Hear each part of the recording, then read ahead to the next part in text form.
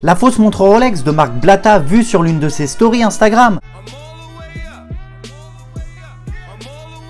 Pour moi, cette montre est fausse et je vais vous expliquer pourquoi. A première vue, c'est une montre Rolex, le modèle Oyster Perpetual référence 124-300 qui a la particularité d'avoir son cadran bleu turquoise. Le premier détail qui frappe sont les index qui ne sont pas du tout alignés, même si la photo est légèrement inclinée, ils sont censés être alignés, or là, ce n'est pas le cas. Un autre point est l'écriture du bas qui est censée être plus grosse et prendre plus de place sur le cadran et être légèrement décalée vers le bas. Et même l'écriture Swiss Made et le logo sont trop gros sur la sienne, or sur l'original, ils sont fins et raffinés. Un autre point qui ne trompe pas, ce sont les petites indications des minutes et des heures entre les index qui sont trop longs et trop gros. Je pense qu'ils ne savaient pas que c'était une fausse montre car le problème avec ce genre de pièce, comme elle n'est actuellement plus produite par la marque et qu'il en existe peu sur le marché, il est compliqué à savoir exactement à quoi ressemble l'original. Dites-moi ce que vous pensez de cette montre dans les commentaires.